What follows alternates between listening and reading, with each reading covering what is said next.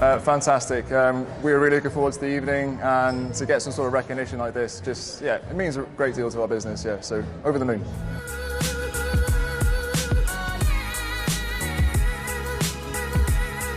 Yeah, don't just keep believing. Really, um, we're all pretty tenacious people, entrepreneurs. But sometimes when you're in your bubble, you can kind of maybe lose track of things and lose confidence, um, especially through the hard times. So I say, just keep going, and yeah, good times will and should follow.